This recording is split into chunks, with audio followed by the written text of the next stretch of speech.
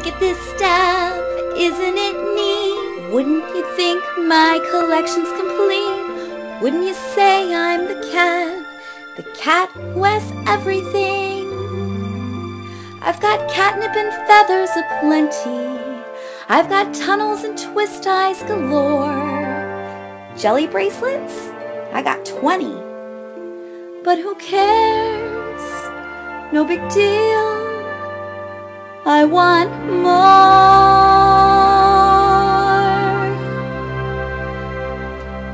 I want to eat me some people toes under the blankets or through your clothes while you're sleeping and also while you're awake.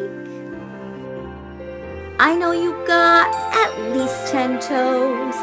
Why are you hoarding all of those?